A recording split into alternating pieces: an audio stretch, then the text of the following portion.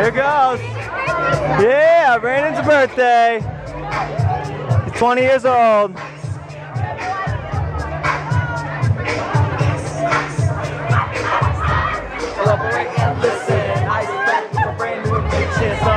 You gotta record it. I got a video. I gotta dance too.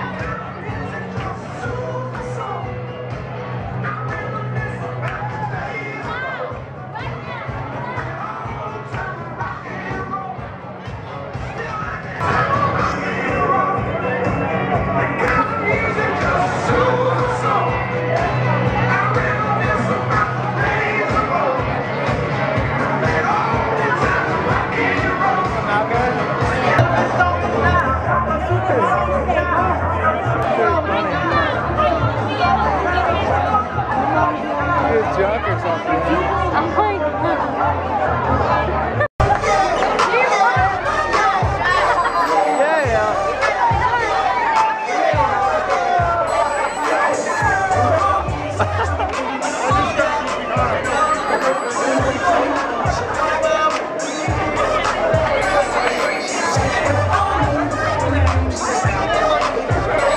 gotta do some moves, dog.